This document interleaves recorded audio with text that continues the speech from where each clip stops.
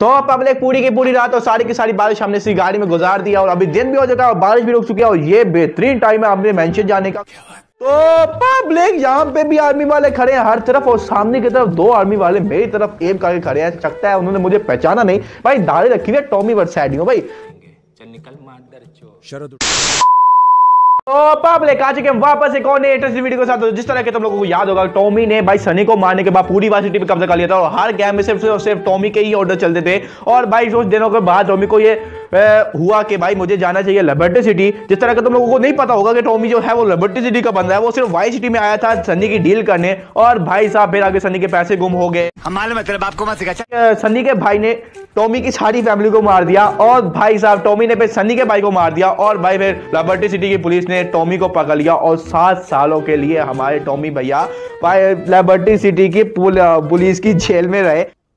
अच्छा। और भाई साहब तुम लोगों को देख सकते हो कि यार टॉमी दादा की दाढ़ी भी आ चुकी है और भाई ये जेल में इन्हें शेव भी नहीं करने दी। और अभी यार हमें जल्दी से जल्दी जाना होगा अपने मेंशन के ऊपर क्योंकि यार टॉमी का तो पता नहीं लेकिन यार मैं बहुत एक्साइटेड हूँ अपने उस चर्ची जॉर्ज से मिलने जो कि एक लॉयर था पर था वो चर्ची तो उसके बाद उन सब दोस्तों से मिलने जिनके साथ मिलकर हमने मिशन किए थे जैसे कैंडी होगी। भाई मेरी फेवरेट करेक्टर थी वो कैंडी सिटी की पुलिस जो है वो बावली हो चुकी है। भाई, मैंने कुछ भी नहीं किया। मैंने किसी को भी नहीं मारा। फिर भी भाई टू स्टार की पुलिस मेरे पीछे पड़ी हुई है। और भाई, मुझे जल्दी जल्दी अपने मेंशन पे जाना होगा। मुझे लगता है यही मेंशन का रास्ता क्योंकि सात सालों बाद आया भाई। भूल भी सकते हैं। मुझे लगता है यही रास्ता है। पर हमारे मेंशन की तरफ़ जाने में इतना बड़ा ब्रिज तो नहीं था पब्लिक ओ भाई, हमारा मेंशन उस साइड पे और हम इस साइड पे आ चुके हैं। और और सामने की तरफ़ से पुलिस आ रही है और पीछे की तरफ़ से पुलिस आ रही है। अभी भाई, इनको चकमा देना होगा यहाँ से। अभी मुझे नहीं पता ये मेरे पीछे क्यों है, पर ये पागलों की तरह मेरे पीछे पड़े हुए हैं, बगैर किसी रीजन के। मैंने कुछ भी नहीं किया, मैं सिंपल ड्राइविंग भाई, आप बैग के साथ मुझे याद है कि एक रोड था रोड के साथ एक गली थी, गली में हम छुप सकते हैं।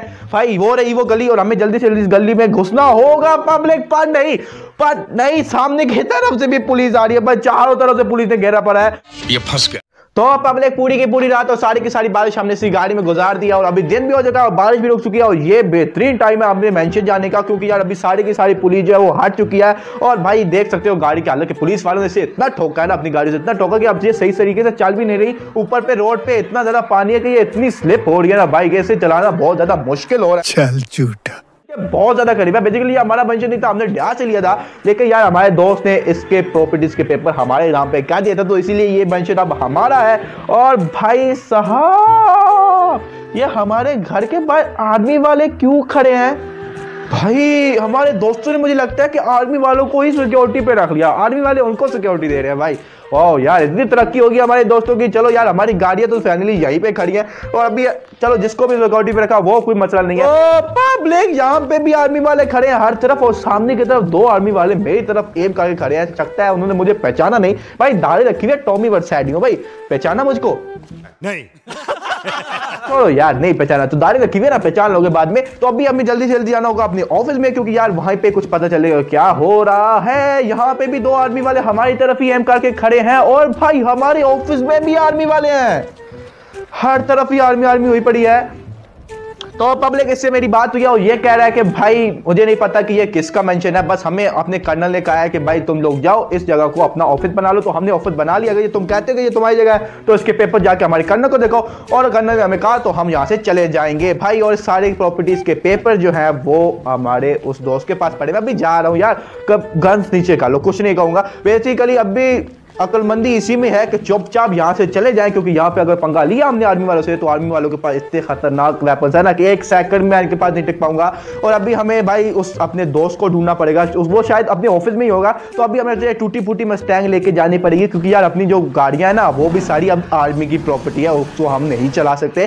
तो पब्लिक भाई गाड़ी छोड़ेगी तो पुलिस वाले पीछे पड़ जाएँगे। अगर गाड़ी यहाँ से ली तो भाई आर्मी वाले ठोक देंगे। अगर बंदा जाए तो जाएगा। अभी ये टूटी फूटी मस्टैंग ही हमें चलानी पड़ेगी। और भाई हमें जल्दी से जल्दी अपने दोस्त को ढूंढना पड़ेगा और वो ये बताएगा कि भाई वाई सिटी में आखिर हो क्या रहा है? ये ये बड़ी अच्छी बात कही आप तो पब्लिक फाइनली हमने एक गाड़ी चोरी कर ली है, क्योंकि वो चलाना मुश्किल हो रही थी और हम अपने दोस्त के ऑफ़िस के पास भी पहुँच चुके हैं। और भाई अभी मुझे लगता है कि मेरे सारे के सारे सवालों का जवाब यहाँ पे मुझे मिल जाएगा पर नहीं यहाँ पे भी वाले खड़े ओ पब्लिक मेरे पीछे फिर से टू स्टार पुलिस पड़ चुकी है। भाई भाई पुलिस वालों को पता नहीं मुझसे क्या है। मैं कुछ कर भी नहीं रहा फिर भी मेरे पीछे धड़ाधड़ धड़ाधड़ स्टार्स लगी जा रहे हैं। तो भाई अभी सेफ़ जगह कोई भी नहीं रही। अपना मेंशन जाता हूँ तो वहाँ पे आर्मी वाले हैं। एयरपोर्ट पर जाता हूँ तो वहाँ पे पुलिस वाले पीछे पड़ जाते हैं। इधर आते हो दोस्त के ऑफ़िस में यहाँ भी पुलिस वाले सकते सिर्फ़ एक ही जगह भी बची है वो है ओशन व्यू होटल जहाँ पे हम सबसे पहले ठहरे थे। तो हम अपने होटल के बहुत पास है और अभी सारी की सारी पुलिस जो हट चुकी है क्योंकि हमने मस्त अपनी गाड़ी को सर्विस कराया उनको धोखा दे दिया। भैया हमें पहचान नहीं पाएगा